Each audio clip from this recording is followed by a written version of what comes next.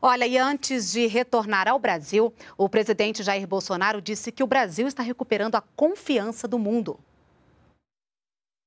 Estou muito feliz com essa passagem por aqui, muito honrado de ser convidado a participar da solenidade da data da República. Agradeço à imprensa fazendo uma brilhante cobertura de todos esses eventos e nós continuaremos com nossa viagem, a próxima deve ser para os Estados Unidos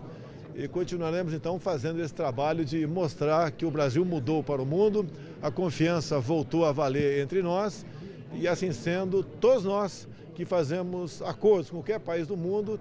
estamos beneficiando os nossos respectivos povos.